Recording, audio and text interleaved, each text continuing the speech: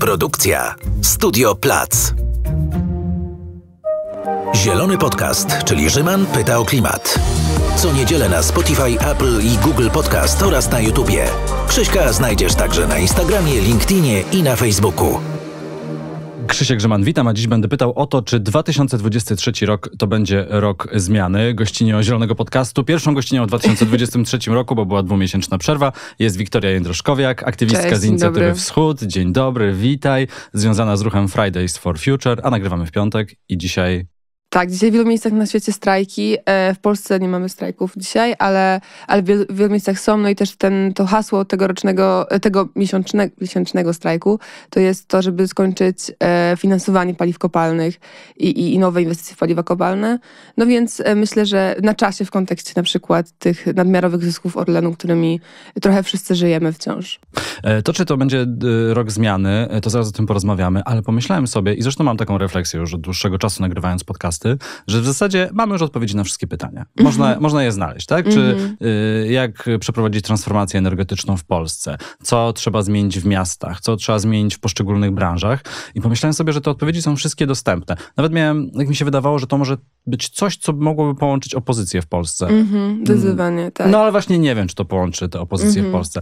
No ale jest Przekonamy teraz... się jesienią. Jest teraz duży hype na, na sztuczną e, inteligencję, e, chat GPT, wszyscy o tym wiemy, e, e, zacząłem z tego korzystać. No i tak pomyślałem sobie, że możemy zapytać chat e, GPT o pewne rzeczy. Jedno pytanie zadałem, bo pewien minus tego Binga, wyszukiwarki Microsoftu jest taki, że czasem długo trwa wyszukiwanie, więc sobie już jedno pytanie zadałem. Zresztą zadałem, wcześniej testowałem różne pytania, no ale zadałem pytanie, jak og- ograniczyć emisję dwutlenku węgla w Polsce. No, cześć, tu Bing. Chcesz wiedzieć, jak ograni- ograniczyć emisję CO2 w Polsce? Znalazłem kilka artykułów na ten temat. Zmniejszenie zużycia węgla i zwiększenie udziału odnawialnych i niskoemisyjnych źródeł energii, modernizacja budynków i urządzeń grzewczych, ograniczenie emisji z rolnictwa poprzez zmianę nawyków żywieniowych. Zresztą do e, jedzenia robaków możemy jeszcze przejść w tej rozmowie. Uwzględnienie całego cyklu życia produktów i usług oraz redukcję odpadów. No i możemy tutaj czata e, zapytać dalej. Słuchaj, no Mhm. okazuje się, że są już odpowiedzi na wszystkie pytania. No są, no i myślę, że też my je mamy od dawna, no nie? I, i też e, jak myślę sobie o samym kryzysie klimatycznym w takim e, sensie nie społecznym, tylko bardziej jeśli chodzi o, o skalę emisji i tak dalej, no to to są rzeczy, które wiemy skąd się biorą emisje i to nie był dla nas nigdy problem, żeby to, to źródło gdzieś tam znaleźć. No więc wydaje mi się, że jedyne czego brakuje tak naprawdę teraz i nie teraz w tym roku, tylko teraz już od lat, to, to wola polityczna. E, No ale jesteśmy w takim roku w Polsce, który, wracając do tego pytania, które zadałeś na początku, czy to będzie rok zmiany, e, jesteśmy w takim roku w Polsce, w którym no, możemy zobaczyć, czy faktycznie to będzie rok zmiany, no bo mamy wybory, które ja czuję, że są chyba najważniejszymi w moim życiu i myślę, że to są najważniejsze wybory też po 89 roku. E, no tak. E, chciałabyś o coś zapytać? E, sztuczną inteligencję? E, tak, możemy zapytać, e, możemy w sumie zapytać, kto wygra wybory. Nie, nie. Takich, Nie da się- nie da się tak? Nie, on się w ogóle nie da nabrać na takie Okej. pytanie. On nie przewiduje Ja przyszłości. nie, nie używam tego tak dużo. Nie, nie, nie. W ogóle wydawało mi się też, że e, czat nie powinien mieć poglądów, no ale Mhm. ponieważ on korzysta z szerokiej bazy Mhm. tak zwanej wiedzy z internetu, no to się przychyla w tej No inną tak. stronę. Na przykład rozmawiałem No z tak. nim o e, źródłach zielonej energii, no i wymienił, że dobrymi źródłami e, zielonej energii w Polsce byłyby wiatraki na morzu, fotowoltaika Mhm. i coś jeszcze. I pytam go, a dlaczego nie wymieniłeś wiatraków na lądzie? A on Mhm. mówi, a że są problemy z wiatrakami na lądzie. No i pytam Okej. dalej, a no ale dlaczego nie wymieniłeś? Dlaczego jesteś zbajasowany w Mhm. stronę wiatraków na morzu? I przestał ze mną rozmawiać chat GPT, bo on się nie daje wprowadzić w ogóle w takie dyskusje. Okej, okej. E, no, no dobra, ale to, to o co moglibyśmy zapytać innego? Mm, nie wiem, nie wiem. No może em, czy, e, czy w 2023 roku w Polsce możliwa jest katastrofa w Warcie? Czy to jest dobre pytanie? E, Dobrze zadane pytanie. Nie wiem, nie wiem. No ale poznaliśmy przyczyny katastrofy. W e, Odrze. Na Odrze, dokładnie. Wczoraj Greenpeace e, o tym mówił. No, y, zaskoczyło cię to, czy, czy, czy w ogóle? To, że Nie. jednak kopalnie doprowadziły do tego Nie, wielkiego zasolenia nie. Odry. Nie, Zupełnie mnie to nie zaskoczyło, e, bo, bo wydaje mi się, że no jeśli gdzieś tam rozumiemy, że paliwa kopalne zabijają, to wiemy, że na różnych poziomach i nie tylko względem emisji i powodowania kryzysu klimatycznego, bo widzimy też, nie wiem, wojnę w Ukrainie, która też jest wynikiem tego, że paliwa kopalne zabijają. No więc to jest, myślę, kolejny przykład po prostu naszej układanki krwawych, krwawego węgla i gazu i ropy. E, słuchaj, to bardzo proszę odpowiedzieć od Binga. Nie mogę przewidzieć przyszłości, ale mhm. znalazłem kilka źródeł, które mogą ci pomóc ocenić ryzyko katastrofy na rzece Warta w 2023 roku. No i opisuję tutaj historię katastrofy ekologicznej na Odrze. Może się to powtórzyć w 2023 roku, jeśli nie zostaną podjęte odpowiednie środki zapobiegawcze. Zmiany które klimatu, zostały podjęte. E, tak, zmiany klimatu wpływają na jakość i ilość wody w rzekach i jeziorach w dorzeczu Warty. E, można to prowadzić do zwiększenia częstotliwości i intensywności susz, powodzi i zanieczyszczeń. No i jeszcze taki ogólnik, że rzeka Warta jest ważnym elementem polskiej historii i kultury.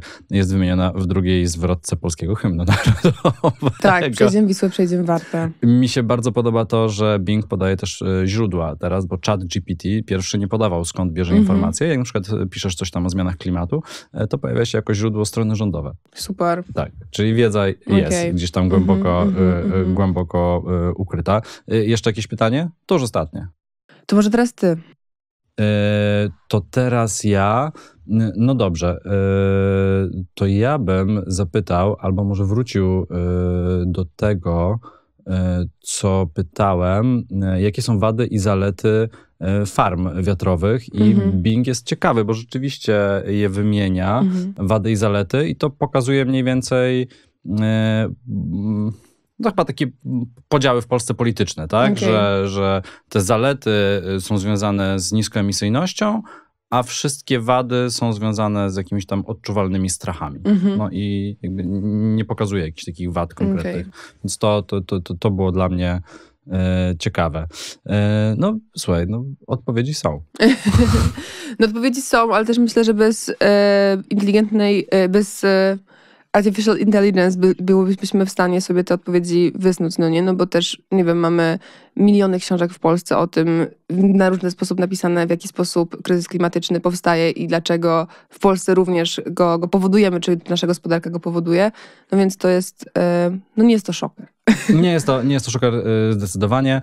E, sztuczna inteligencja pozwala też na przykład przejrzeć programy polityczne partii i zapytać. Może ktoś w końcu to zrobi poza, poza dziennikarzami w tym kraju wtedy i samymi politykami. Ale nie wiem, ale nie wiem, czy tak się stanie. Czy kryzys klimatyczny będzie numerem jeden w debacie politycznej y, na jesieni? Nie, zdecydowanie nie. Ale nie? myślę, że to dobrze. W sensie uważam, że e, uważam, że kryzys klimatyczny będzie zawsze już w debacie gdzieś tam na, na sztandarach. Nie będzie numerem jeden, bo nie powinniśmy też tworzyć debaty, w której kryzys klimatyczny jest jakimś osobnym tematem, od którego po prostu można się odciąć. I, i widzieliśmy przez ostatnie lata, że to nie działało po prostu i że wtedy te osoby, które gdzieś tam albo zaczęły kumać kryzys klimatyczny w takim kontekście naukowym, po prostu wierzą w naukę, idą za nią, zaczęły się tym interesować, albo po prostu takie bardziej wyborcy czy politycy, którzy byli bardziej zieloni, no nie? W sensie dbają o Puszczę Białowieską też, więc zainteresowali się też, e, też kryzysem klimatycznym. To, co mi się wydaje, że będzie głównymi tematami wyborczymi, e, to będzie gospodarka i te rzeczy takie bardziej o ostatnio um, mówiłyśmy z Dominiką Lasotą, że bardziej o końcu miesiąca niż o końcu świata. No ale one są ze sobą niesamowicie związane i myślę, że naszym zadaniem też jako aktywistek klimatycznych jest pokazanie tego, jak kryzys klimatyczny, kryzys energetyczny, inflacja, wojna w Ukrainie i te wszystkie rzeczy są, są powiązane i tak naprawdę mają, mają swoje źródło w paliwach kopalnych. E, bo, bo mam wrażenie, że wciąż e, gdzieś tam ludzie to rozumieją już na takim poziomie prostym, ale jednak jest tak, że trzeba to przypominać i trzeba to też przypominać e, politykom, no nie? Którzy gdzieś tam nie mogą właśnie tworzyć sobie polityk klimatycznych, które są oderwane od, od pozostałych, pozostałych części ich programów. E, trochę się już tutaj pojawił temat wiatraków, nie przez przypadek, dlatego mm -hmm. że wiatraki są na tapecie w Polsce praktycznie cały czas od 2016 tak, roku, się, kiedy zostały e, przez koalicję rządzącą, e, ich budowa została zakazana. Wtedy wprowadzono zasadę 10H, e, to był 2016 rok, jesteśmy w roku 2023 mm -hmm. i w zasadzie od 8-9 miesięcy prowadzi się w Polsce taka, znaczy toczy się w Polsce taka dyskusja, kiedy wreszcie zostaną odblokowane mm -hmm. wiatraki, bo jest już podobno wola polityczna po prawej stronie mhm. Sceny politycznej, żeby to zrobić. Przez dwa miesiące nie było podcastu i w zasadzie nic się nie wydarzyło w tym temacie. Poza tym, że no jest tak. projekt, który przeszedł z Sejmu do Senatu i znowu y, ktoś, a dokładniej poseł Marek Suski, chociaż tak naprawdę to nie tylko on, on złożył tę poprawkę na jakiejś wygniecionej kartce papieru czy na serwetce, znowu próbuje te wiatraki w Polsce y, przyblokować. Mhm. Y, wy też robiliście dużo, dużą akcję, przynajmniej medialnie dużą mhm. akcję a propos wiatraków, a propos tej mm, zasady y, 500 metrów. Czy macie nadzieję, że w przyszłym tygodniu, bo tak naprawdę wtedy zbiera się Sejm, wreszcie te wiatraki zostaną w Polsce odblokowane? No myślę, że kwestia wiatraków w Polsce jest trochę taką rosyjską ruletką i myślę, że nie bez, nie, nie bez e, przyczyny rosyjską też w tym, e, i tylko nie tak metaforycznie rosyjską ruletką, tylko faktycznie e, taką, która wynika z jakiejś woli po prostu bardzo małej grupy osób w parlamencie, która ewidentnie ma i rosyjskie wpływy, ale też takie na maksa prawicowe i po prostu antyklimatyczne i antyludzkie dla mnie po prostu e, gdzieś tam e, sentymenty.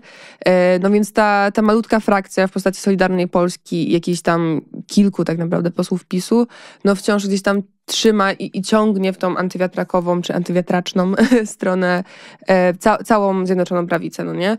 Co, co jest złe, oczywiście, z drugiej strony dla mnie też jest tak, że no to jest dla mnie absurdalne, jeśli premier Morawiecki, który ma bardzo klarowne zdanie, mam wrażenie, jeśli chodzi o wiatraki na lądzie i czasami jak on e, w ostatnich miesiącach wypowiadał się na ich temat, to miałem wrażenie, że mówi to samo, co ja bym mogła powiedzieć bez żadnego problemu, gdy mówił na przykład o tym, że musimy odblokować ustawę 10H, bo nie możemy sobie pozwolić na drogi katarski gaz, czy, za, e, czy na ruski gaz, który jest krwawym gazem, czy, czy, czy, czy, czy takie tam różne argumenty.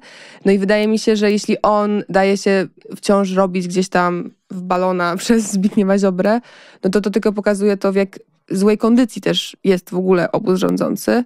Co z drugiej strony dla mnie osobiście jest jakąś jaskółką nadziei tego, że być może opozycja w końcu na poważnie to zauważy i będzie w stanie jednoczyć się pod hasłem sprawiedliwej transformacji, pod tymi hasłami, które my głosimy, bo one faktycznie są ponad podziałami i faktycznie jest tak, że wyborcy, wszyscy już, również ci po prawej stronie, to, to są osoby, które rozumieją to, że, że transformacja energetyczna jest wyzwaniem, w którym już jesteśmy, jesteśmy w nie wrzuceni tak naprawdę, a możemy wziąć sprawę w swoje ręce i poukładać ten, ten świat inaczej, żeby nie było powtórki z lat 90. w Polsce po prostu. Ale coś, co było jednak szokujące przy okazji y, tej bardzo smutnej rocznicy rosyjskiej pełnoskalowej napaści na Ukrainę, e, to, że Orlen cały czas kupował ropę mm -hmm. z Rosji, coś, co wydawałoby się, że szokujące. No, mm -hmm. Powinno pogrążyć rząd mm -hmm. w mhm. Polsce, szczególnie gdy społeczeństwo jest tak nastawione e, anty. A jednak wydaje się, że to po prostu jest kolejny temat, który gdzieś przeleciał przez no media, właśnie, potrwał trzy dni. Mm -hmm i zniknął. No mi się wydaje, że to jest podobnie, nie wiem, jak z Willą Plus, żeby może pokazać jakiś taki przykład, który zupełnie nie jest związany z tematem podcastu, czy, czy, czy z nami też jako, i naszą działalnością, tak, tak jakby dosłownie. E, no to pokazuje, że jakby PiS przy, przyzwyczaił Polaków do tego, że możemy mieć w tygodniowo trzy nawet duże afery, które poprzednie rządy jakby w, tym, w tej naszej trzeciej RP by totalnie po prostu już się pakowały, a, a oni, oni nas przyzwyczaili do tego, że są afery. E, i co gorsza moim zdaniem, e, to, to też jest tak, że te afery wcale nie sprawiają, że ich taki jakby silny elektorat spada, no nie? W sensie mam wrażenie, że ludzie, którzy głosują na PiS, oczywiście część z tych ludzi, ten taki elektorat, jest oczywiście ten elektorat PiSu, który jest taki bardzo kościółkowy wręcz, e, w sensie takim dogmatycznym, że głosują na PiS, bo kochają Kaczyńskiego, Dudę, Morawieckiego, możemy tam sobie podmieniać imiona. Jest też ten e, fragment e, elektoratu PiSu, który kocha PiS dlatego, że oni jakby są przekonani, że Polska wstaje z kolan w tym momencie i że jakby dzięki temu, że PiS bardzo mocno trzyma władzę, to Polska, to jest dla Polski sukces. No więc gdy oni widzą po raz kolejny taką aferę jak na przykład Villa Plus, no to oni nie mają poczucia, że Czarnek okrada nas, czy okrada organizacje pozarządowe w ogóle, tylko mają poczucia fantastycznie. Robi to dla swoich ludzi. No i my też, ja na przykład, nie wiem, myślę, że y, mamy pełno pokoleń w Polsce i ja jestem z tego pokolenia na pewno, które zostało wychowane w taki sposób, że no, czasy mogą być niepewne, już jest trochę lepiej, ale czasy są niepewne, więc e, pamiętajmy o tym, że najpierw trzeba dbać nie tylko o siebie, tylko o swoich ludzi, no nie? Więc oni tak, tak myślę, odbierają te, te afery. I podobnie jest z Orlenem, no nie? Przecież jak też ostatnio pytałam um, Jacka Sasina, kiedy był e, w programie w Radiu Z u, u e, Bogdana Rymanowskiego, e, dlaczego Polska nie nałożyła windfall taxu. I on wprost mówi, nałożyliśmy windfall tax, co oczywiście nie jest prawdą, dlatego że przecież Orlen to spółka Skarbu Państwa, więc jeśli Orlen ma ogromne e, zyski, no to znaczy, że wszyscy, wszystkie Polki, wszyscy Polacy mają ogromne mm -hmm. zyski. No to jest absurdalne. W sensie to jest, no nie dosyć, że to jest oczywiście populistyczny język, no to to jest język, który jest dezinformacyjny, no nie? E, to teraz jeszcze trochę o dezinformacji i kampanii, która się zbliża, e, bo przez media przetoczyła się taka dyskusja, w zasadzie trudno nazwać dyskusją, no ale politycy prawicy e, wcisnęli ten temat. Zresztą chyba Dziennik Gazeta Prawna go wyciągnął na samym mhm. początku a propos jedzenia robaków i diety roślinnej, szerzej mówiąc, i tego, kto decyduje o tym, co mamy na talerzu.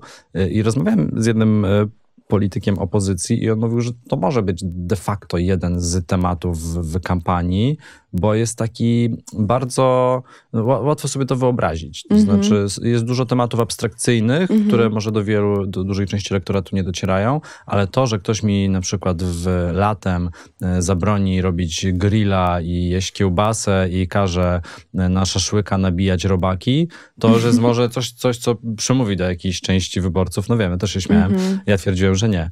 E, ale wydaje się, że ten temat się pojawi? Bo wrzucane są te tematy mhm. światopoglądowe no w tak. kampanii tak? Mhm. I to jest chętnie wykorzystywane. Mhm. Kiedyś to byli uchodźcy, potem osoby LGBT, osoby trans, no jakby mhm. przez różne grupy to przechodzi. E, rowerzyści, no weganie w sumie już też się tam pojawiali jako jakiś taki wróg.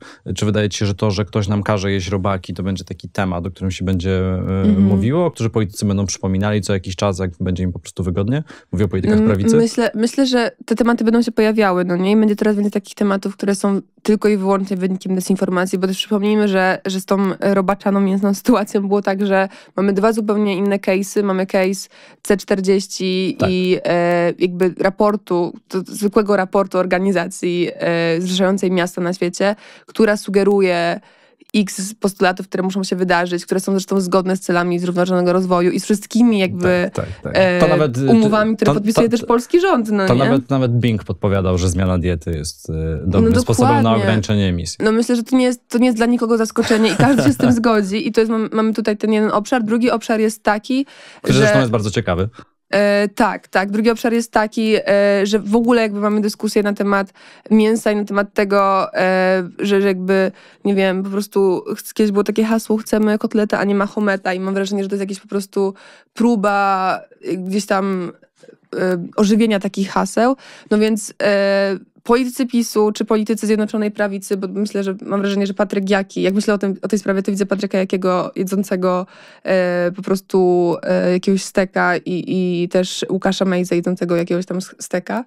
E, oni sprawili, że połączyli te dwie, dwie dwa wątki i pokazali, że okej, okay, teraz Unia Europejska wrzuca po prostu e, możliwość produkowania mąki z robaków, więc jeśli mamy jeść mięsa, no to mamy jeść mąkę z robaków, czyli zamieniamy po prostu bogate steki na robaki.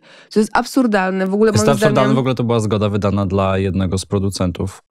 No dokładnie i dla mnie to też jest tak, że yy, myślę, że, że, że to, co złego się wydarzyło, to to, że każdy musiał zabrać głos. Również te osoby po stronie wegańskiej, zielonej musiały zabrać głos i po prostu opowiadać o tym, dlaczego teraz e, ta mąka z robaków jest dobra i dlaczego musimy iść w tą stronę, bo wchodzimy w tą dezinformację i to jest bezsensowne.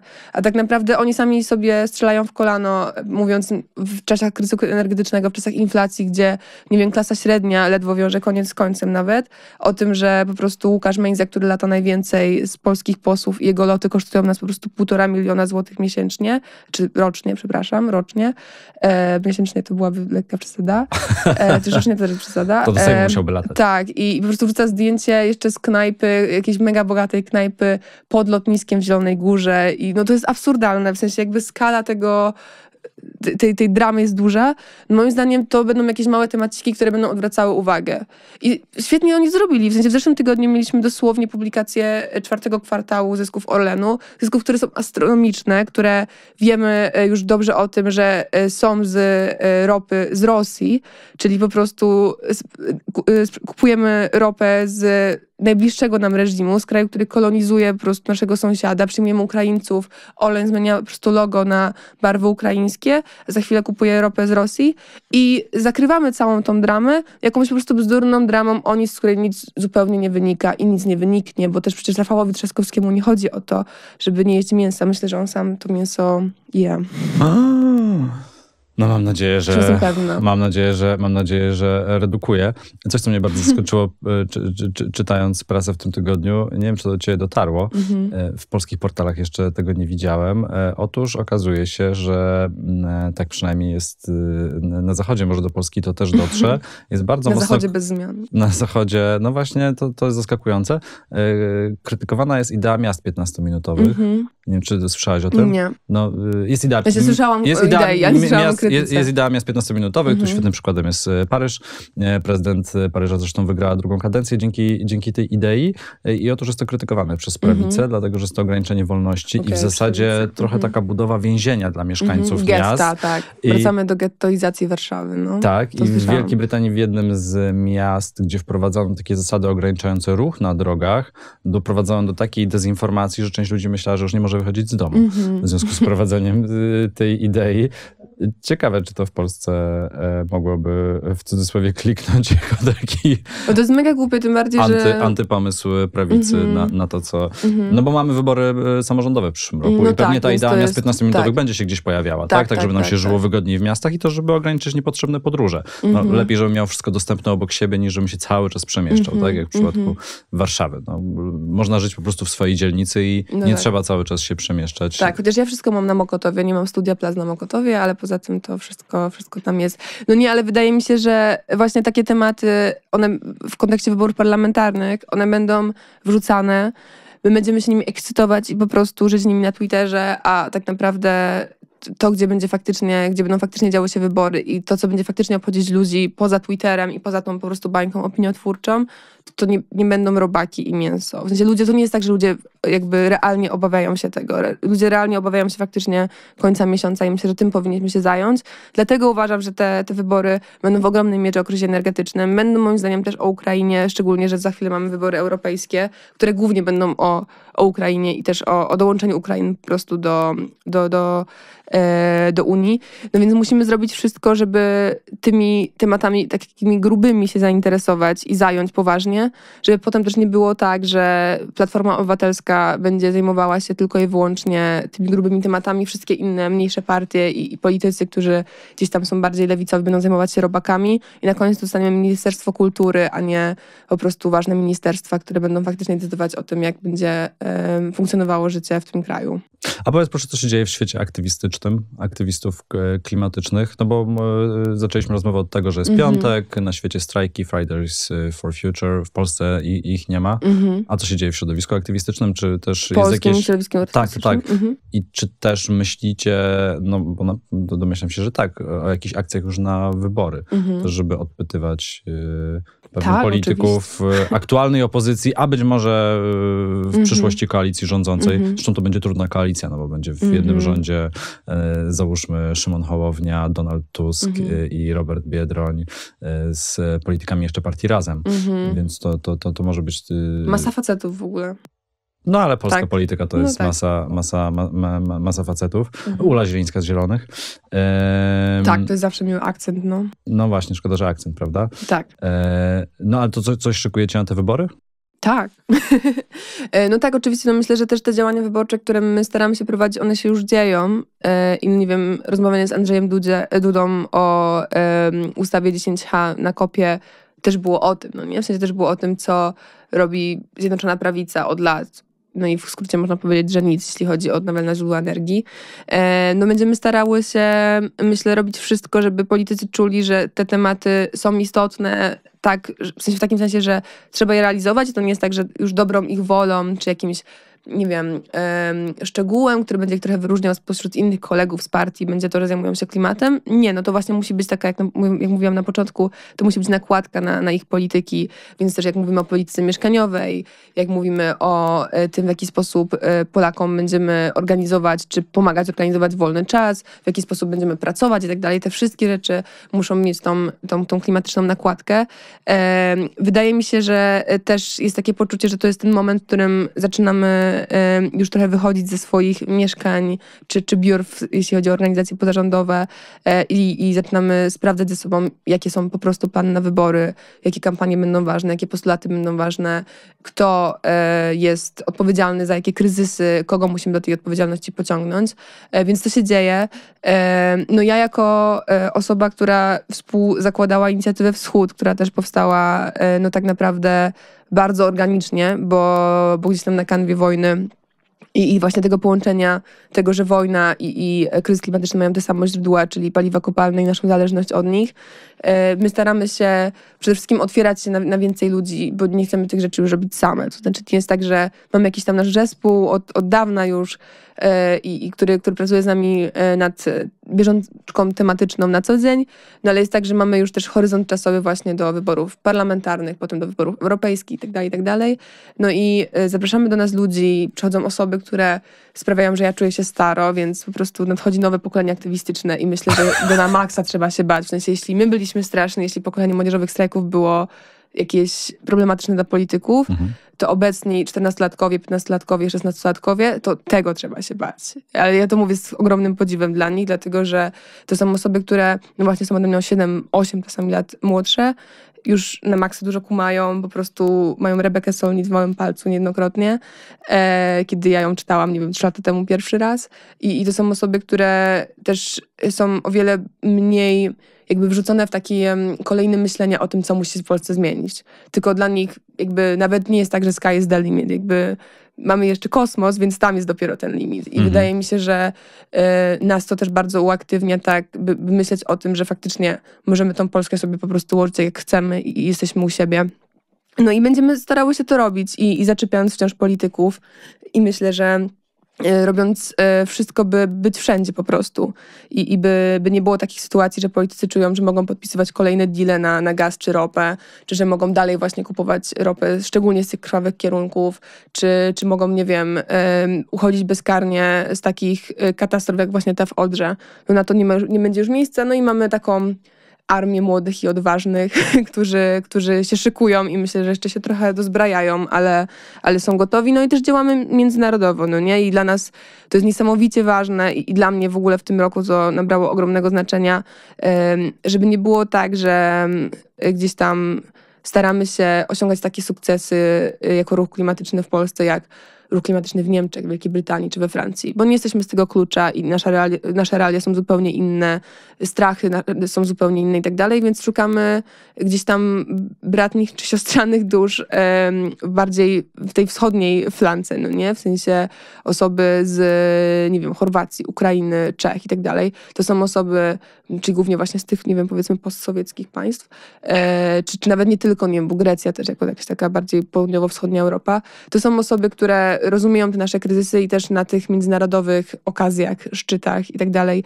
chcemy, by, bardzo wyraźnie to podkreślać i by, by gdzieś tam tą zależność między paliwami kopalnymi a dyktatorami po prostu e, wskazywać.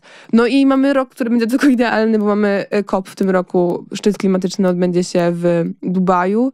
Szefem, takim prezydentem szczytu e, będzie szef największej, największej, największego koncernu energetycznego w Zjednoczonych Emiratach Arabskich. No więc myślę, że tragedia, ale no też idealne E, idealny grunt pod, pod te wszystkie aktywistyczne działania i mówienie o, o tych rzeczach. No i walkę znowu taką, myślę, że już e, tradycyjnie po prostu ludzie versus wąskie grona polityków, którzy mają na, na względzie zyski. No więc bez względu na to, czy Dubaj, czy Warszawa, to wspólna, nasza wspólna sprawa. O wow, e, chętnie bym cię e, o coś jeszcze zapytał, ale w zasadzie czas nas goni. Gratuluję nagrody, no i zmiany, o co dostałyście dzięki, Dominiką. To, co powiedziałeś o młodych aktywistkach i aktywistach, osobach aktywistycznych, to bardzo ciekawe, bo MSK przecież startowało w 2019 roku. No to tak, no ale to było... parę dni temu. No tak, no tylko, że jak myślę sobie o 2019 roku, czy w zasadzie 2018 roku i kopię w Katowicach, bo to był taki początek, już końcówka roku, ale jednak początek MSK, no to ja w 2018 y, roku kończyłam 17 lat. Teraz mam 22 lata, no i w sensie moje życie się na maksa zmieniło. To jest tylko 5 lat, no nie, ale jak pomyślę sobie o tym, że no nie wiem, mieszkałam z rodzicami, chodziłam do liceum, do dwójki w Poznaniu, gdzie tam po prostu staraliśmy się gdzieś tam na, na przerwach i po prostu w stołówce organizować rzeczy. Mieliśmy 200 zł na zorganizowanie strajku, które pożyczałam od swojej mamy i nigdy jej nie oddałam. i coś tam. E, no te, teraz jest inaczej, no nie? W sensie teraz już też myślę, że trochę kampanii przeżyłyśmy wszystkie i, e, no i też mamy trochę inne podejście. Wiemy też, że na przykład jednym z głównych naszych zadań w tym roku jest nie tylko mówienie o po prostu e, Orlenie i, i po prostu e, szelmostwach pcimskich nawciarzy, tylko to nie jest mój tekst, to jest Onet, ale bardzo lubię, tą, bardzo lubię ten nagłówek, ale również, no nie wiem, chociażby o wyborach. No nie? Jak zobaczymy sobie na statystyki to, że właśnie osoby w moim wieku, ty tam 8, od 18 do 29 roku życia głosują najrzadziej, no to kurde, w sensie my mamy wybrać, no nie? I, I mamy iść i jeszcze nie głosować na Konfederację najlepiej, to wtedy będzie, myślę, że idealnie. No więc zmieniamy te, te trochę też priorytety, no ale to też jakby, ja mówię o wschodzie, no nie? A jest też na tym rynku aktywistycznym w Polsce dzieją się różne inicjatywy, jest ruch Solidarności Klimatycznej, który zajmuje się bardziej jakby z tego co rozumiem, reformowaniem tego, w jaki sposób spółki energetyczne chociażby działają. Robili też panel obywatelski razem z Fundacją Stocznia. Są bąbelki, zarąbisty kolektyw, który Super. Działa konkretnie antygazowo i mają w ogóle jakąś ogromną wiedzę e, o, o gazie i też, też kminią rzeczy wokół tego, więc to jest super ważne.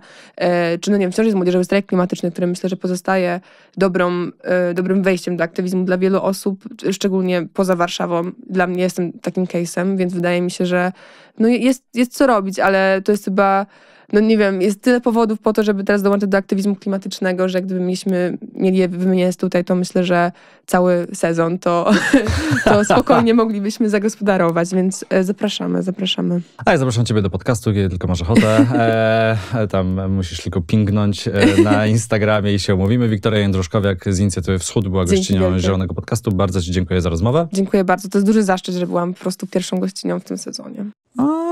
To będzie trudny wyborczy sezon. To będzie trudny wyborczy sezon, zgadzam się. Chociaż sam się jeszcze zastanawiam, o czym więcej rozmawiać y, w tym roku. No ja myślę, rozmawianie o... Donalda Tuska, żeby Donald Tusk porozmawiał o swoich planach y, na y, kryzys energetyczny, więc jeśli ktoś od Donalda Tuska słucha, to Koniecznie, wiem, to, to wiem, miejsce zaraz będzie puste. wiem, wiem, komu to podesłać. E, bardzo Ci jeszcze raz dziękuję za rozmowę, a Zielony Podcast można teraz oglądać także na YouTubie. To był Zielony Podcast, czyli Rzyman pyta o klimat. Co niedzielę na Spotify, Apple i Google Podcast oraz na YouTubie. Pamiętaj, żeby subskrybować kanał. Nie przegapisz żadnego odcinka.